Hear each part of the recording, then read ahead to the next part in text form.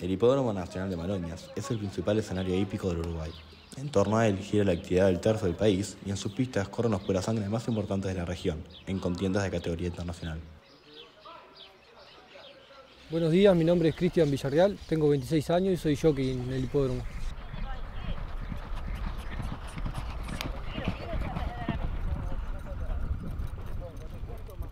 Por intermedio de mi padre que cuida caballos en este hipódromo y demás, y está toda una vida con los caballos y ahí arranqué acá.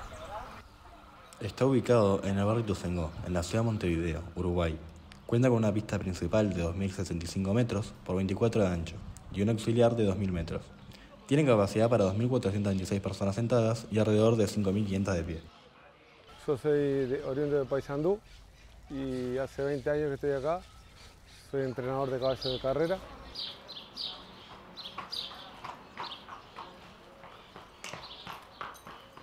Eh, mi padre fue entrenador y jockey y, y yo dejé el estudio, bueno, y me entró a gustar esto, la, esta profesión, entré a tomar un poco el, el gusto, como se dice, y bueno, la verdad que por la poca edad que tengo y este, junto a mi padre que, que lo hacemos juntos, bueno, yo ahora me, me tiré un poco por mi lado, este, me ha ido bastante bien.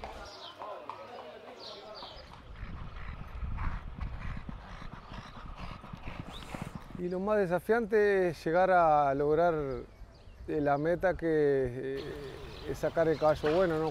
como, todos queremos, este, eh, de potrillo, entrenarlo y verlo crecer día a día y llegar hasta el tope máximo. Y, como yo tuve la suerte de, ganar este, carreras importantes, te vuelvo a repetir, con, los 44 años que tengo, soy joven para esto, porque generalmente los entrenadores mayores son los que han ganado más y se estila así esto. Pero llegar al, a correr un Ramírez, a correr un Nacional, una Polla, un Club, que son las carreras más importantes de, de la hípica del Tour uruguayo. ¿no?